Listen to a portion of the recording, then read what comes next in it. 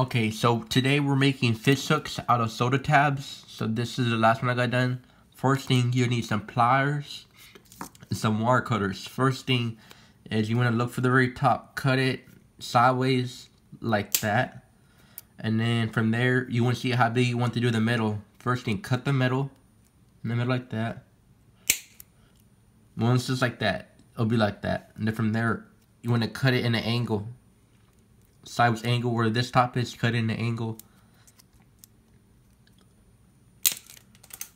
So it'll be like that as a hook. And from there, you want to get your pliers. Pliers, you want to get the pliers. You want to pinch this down. Pinch it down.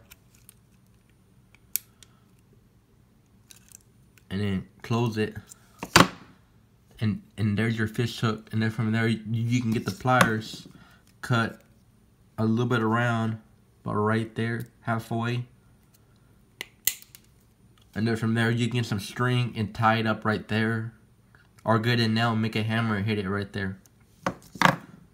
Soda top fish hooks, homemade, DIY.